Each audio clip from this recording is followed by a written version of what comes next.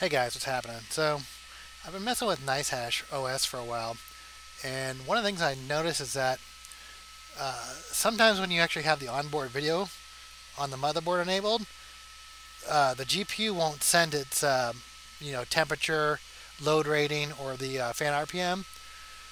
So um, if you're actually having that issue, like I'm currently having on my 6 GPU rig, and I'll show you that in a second, and I'll show you the solution.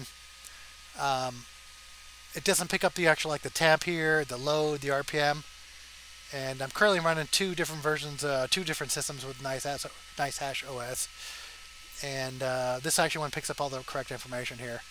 And this one I actually have the onboard uh, video card disabled.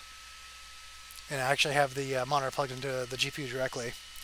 So I mean, it is nice actually having the, the motherboard.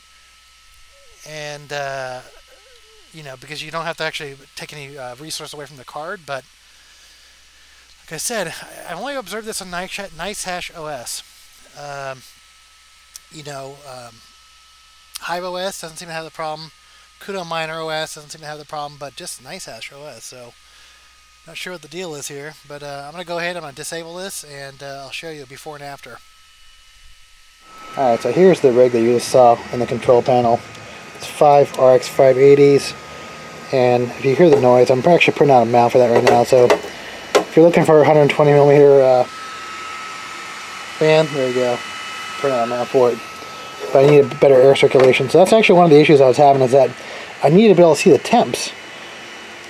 So I can I need to know if these things are overheating or not. So when I put the case cover case cover on there and I move it to the data center, it's not going to be overheating this box. Um, so let me show you my solution real fast for the, uh, the monitor. So I'm actually I'm going to connect to my primary monitor and you got to make sure that it's connected to the uh, main the 16 port PCI slot here. And the, the video card full length video card PCI slot. That this, this is typically the primary video card for these motherboards.